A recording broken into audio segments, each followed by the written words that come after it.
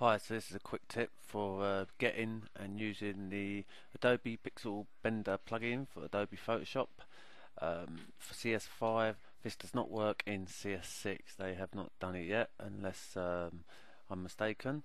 So you come to this page, and then you download Pixel Bender plugin, and then click the checkbox let's say that you've read and agreed to the terms and then you go down and you do the 32-bit or 64-bit you download it and it will be an MXP file.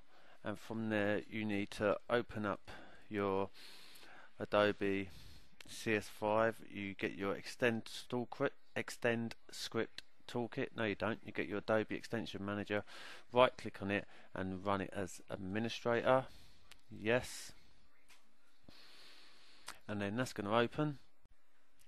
And from there you choose to install hang on first of all you go onto Adobe Photoshop CS5 64 32-bit depending which one you downloaded go install. It will go open up your browser you find it. So I've got it set to downloads and you choose it. You click open and it'll ask you to accept it and then it'll install it. Okay once you've got it we start Photoshop open. I've got this image open. Now it's best not to have too large an image size otherwise it can cause problems. You come to filter you come to pixel bender and then pixel pixel bender gallery. Now I find the best one is oil paint but go through them pixelate's quite nice. That's quite nice.